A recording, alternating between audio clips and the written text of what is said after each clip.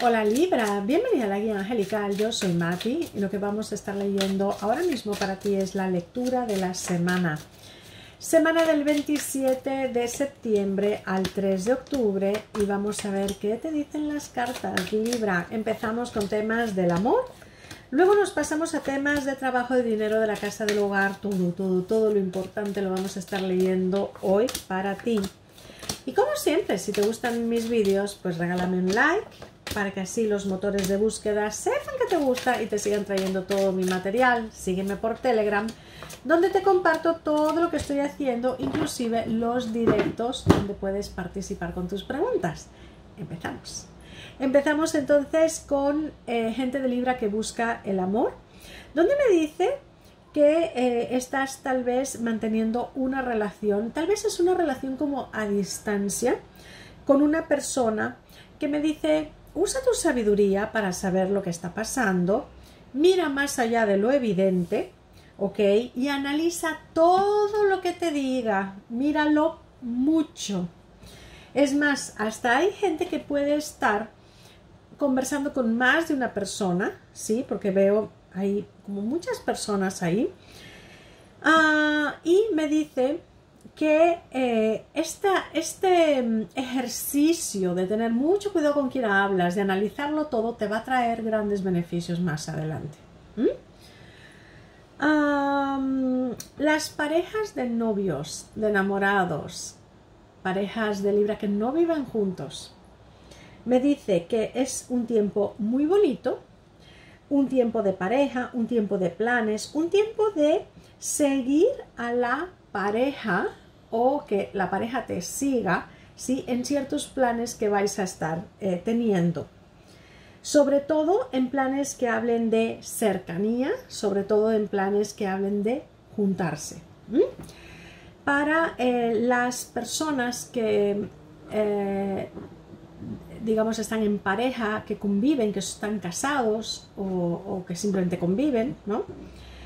Me habla de una semana en la que estamos como un poco alejados.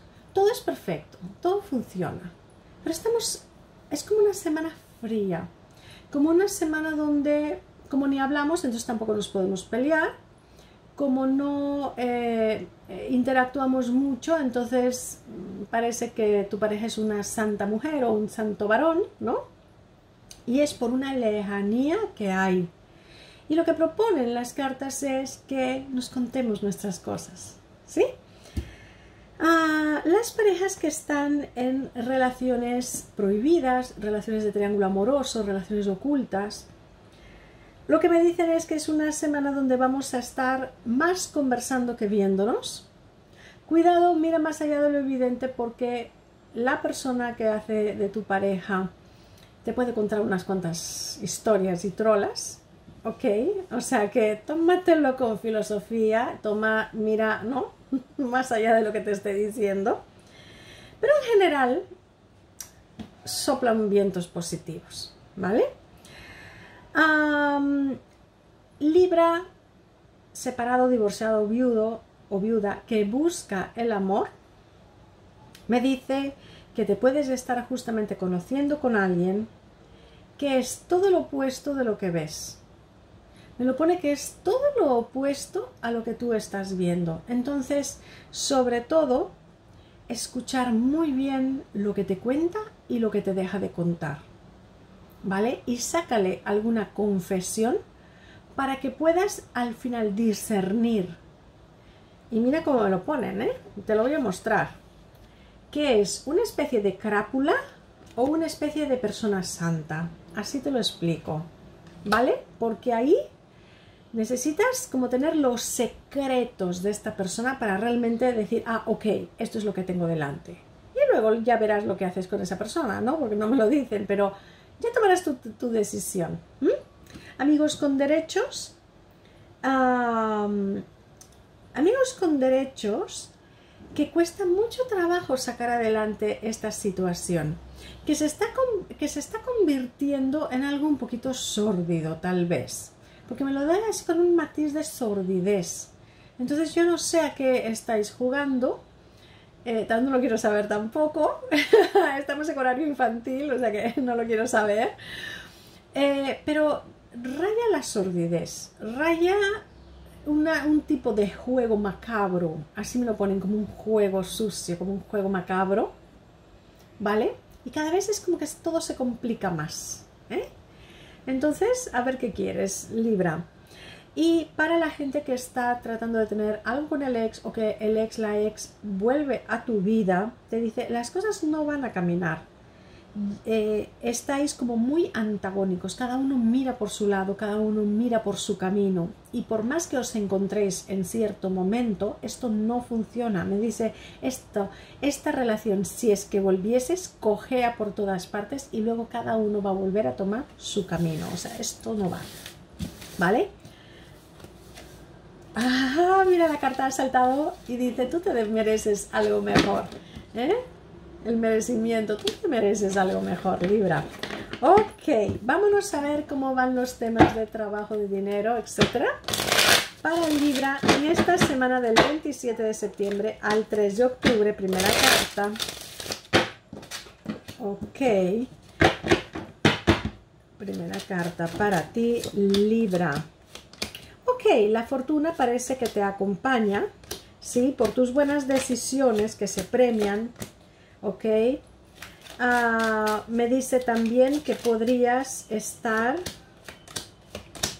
ok, que podrías estar, em, ¿cómo se llama? Recibiendo una especie como de contrato, una mejora, ¿vale? Que tal vez en el pasado no se te había estado concediendo y ahora puede ser tu momento. Ah, me habla también de un cambio de camino, ¿sí? En, algún proyecto de trabajo. Y que es, como un momento muy afortunado para ti. ¿Ok? Vamos a ver si Libra encuentra ese trabajo que está buscando. Ok, ok. Me habla de una persona conocida tuya que te puede estar ayudando a que tengas una entrevista positiva. Lo que sí, ese trabajo que se consigue no era lo que tú esperabas, no era el tipo de trabajo que tú sueles realizar, pero vas a estar pudiendo trabajar. Siete de oros, ¿ok? Estudiantes, a ver, mis estudiantes, mis estudiantes que tienen algo así como un gran karma con una profesora que no te pasa, pero de aquí, ¿ok? Entonces, esta semana mucho cuidado con esta persona que te puede estar poniendo las cosas muy difíciles, ¿sí? Lo que sí veo que sí que puedes tener justamente las posibilidades de seguir sus pautas y hasta lograr que luego te ayude o te dé lo que te mereces. ¿Mm? ¿Ok? En las finanzas, a ver, en las finanzas me dice que tus finanzas toman un camino distinto de crecimiento gracias a unos papeles. ¿Mm? Ok, y que hay algún tipo de proyecto familiar que te hace también eh, ir revisando tu presupuesto, cuidando un poco eh, el dinero que gastas, pero no tanto como ahorrando, sino simplemente disponiendo un presupuesto. ¿Vale? Y hay algún tipo de documento que te ayuda a hacer crecer tu dinero. Por ejemplo, el que alquiles, no sé, una casa, el que, no sé, vendas tu coche que no lo usas, ¿sabes? O sea, hay eh, por medio de algún tipo de contrato que ganas dinero, aparte de lo que sea, que lo que pueda ser el trabajo, ¿sí? Pero hay em, contratos o documentos que te hacen ganar un dinero adicional. ¿Mm? Ok, a nivel de, eh, de la familia, veo una mujer que puede estar teniendo algún problema de salud o de aspecto médico. Lo que veo es que pueda estar guardada en casa y que tal vez haya que ir a verla, a visitarla. ¿Ok? En casa la verdad que te veo bastante bien. No te veo saliendo mucho de casa, pero te lo pasas muy bien dentro de casa. ¿Sí? Para quienes quieren, eh, por ejemplo, ir de paseo, de viaje, sí que se puede dar el caso de algún paseo, pero más que nada te veo como guardado en casa. No nos movemos mucho de casa, tampoco salimos mucho. Ok, a nivel de la salud, a ver, mm, ¿por qué tema puede ser esto?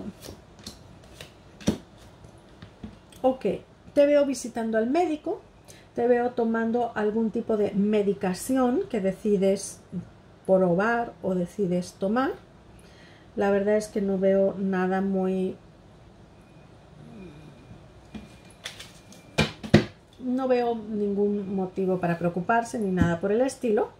Y en general te veo como una persona que estás pasando eh, como una semana tranquila, una semana pensándolo todo, eh, una semana donde, este, donde decides, porque te veo muy libre y decidiendo tu vida, ¿vale?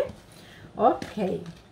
Vámonos ahora entonces a pedir una bendición para Libra, a ver qué nos dicen, qué nos dicen las cartas. Una bendición para Libra en esta semana.